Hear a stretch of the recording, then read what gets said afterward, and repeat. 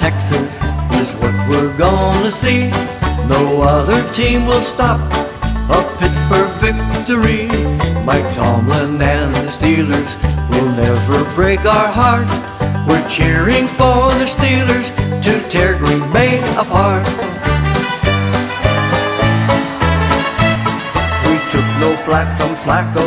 We cool Sanchez's Jets. We're on the trail to Texas with the greatest Steelers yet.